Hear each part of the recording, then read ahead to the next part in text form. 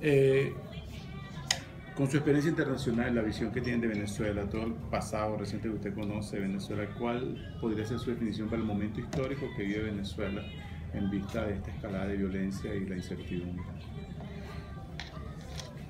A ver, si hay algo que a mí siempre me ha llamado la atención aquí en Venezuela, desde que vine por primera vez, ya van a ser tres años, cuando no nos permitió visitar a Leopoldo López en Ramo Verde y, y que hacíamos aquí la primera reunión con Antonio Ledesma y María Corina Machado hablando sobre el tema de democracia, es que algo que llama la atención es que la oposición venezolana, a pesar de todas las dificultades que tiene como oposición, de la persecución y que se ha agravado en los últimos meses, toda salida siempre que se ha planteado es dentro de la Constitución y de la ley.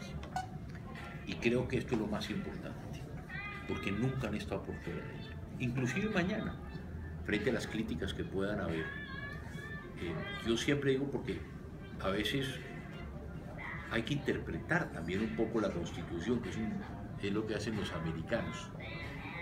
Esa modificación que introduce Hugo Chávez a la constituyente es precisamente para evitar que sean los poderes constituidos, especialmente el del presidente, el que pudiera tomar la decisión de si hay una asamblea constituyente o no. Y por eso plantea la consulta popular previa, que sea preguntándole al pueblo, oiga señores, ¿ustedes quieren cambiar la constitución o no?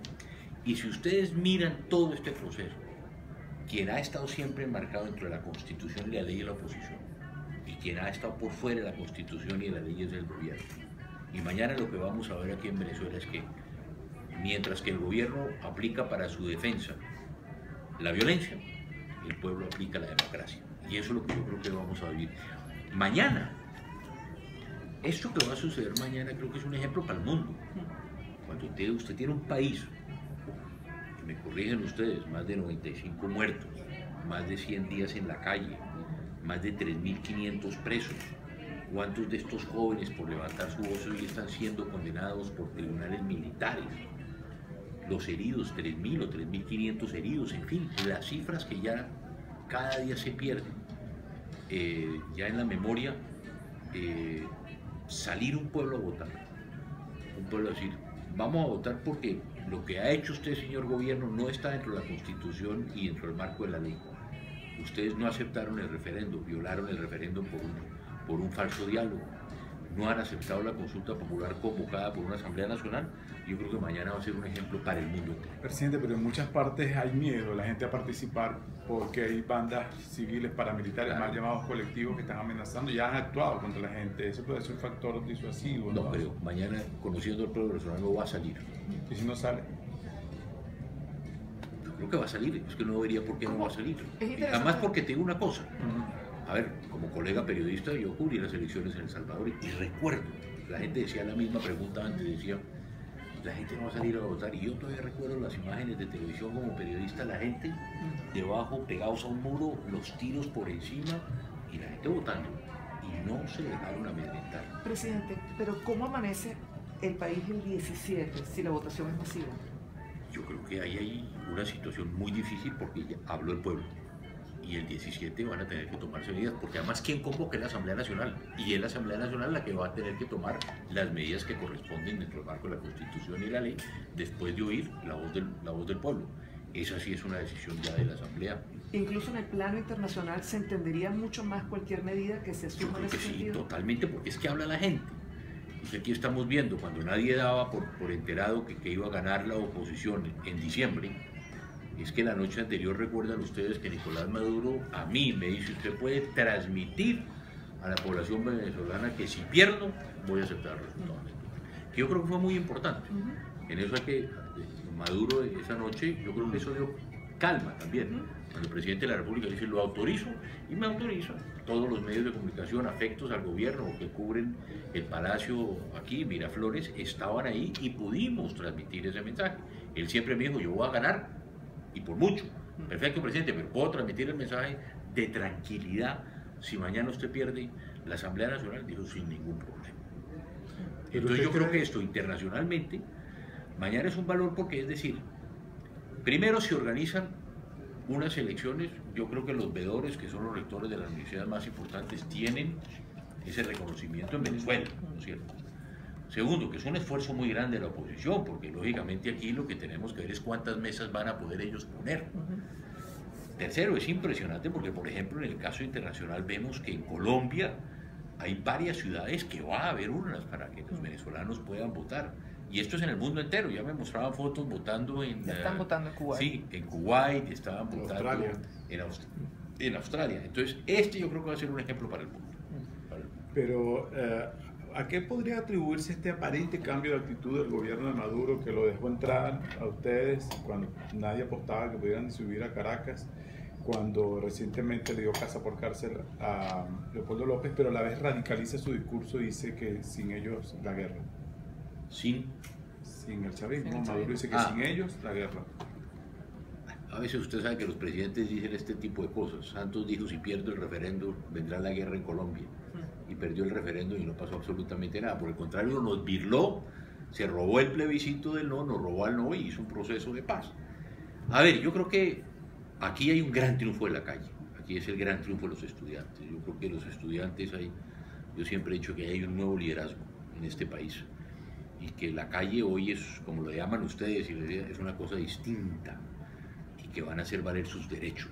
Y yo creo que esto es lo importante. No creo que haya por parte de- de- del presidente Maduro, a ver, eh, eh, si estamos en una democracia, yo creo que estamos en una narcodictadura, que es distinto, pero bueno, hoy el mundo está pendiente, hoy el mundo está pendiente de qué va a pasar mañana en Venezuela, la verdad que a mí me llama la atención y por eso nosotros venimos simplemente como observadores y como observadores nosotros siempre hemos dicho, primero, presidente Maduro, recíbanos, ¿Estaría usted dispuesto ahorita de, si lo llamara, si recibe una llamada telefónica? vamos para allá como la vez pasada.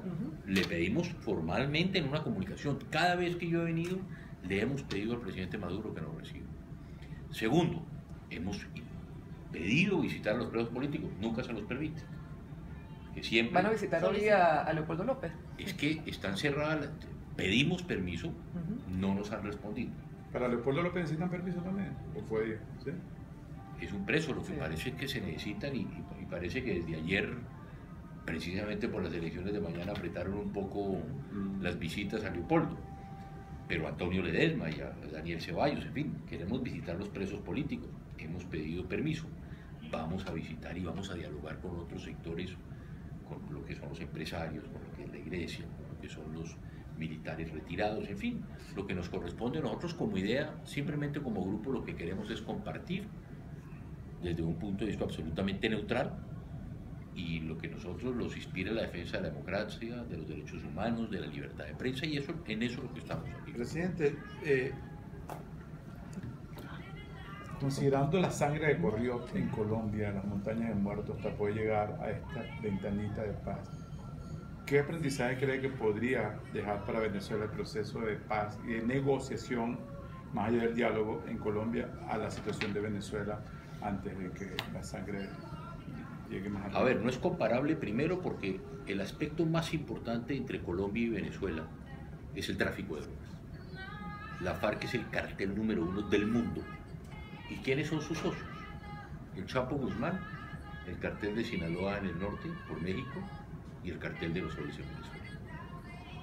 Nosotros lo único que le dijimos al presidente Santos fue el tema narcotráfico. Presidente, usted tiene que pedirle a la FARC, primero, quiénes son sus socios.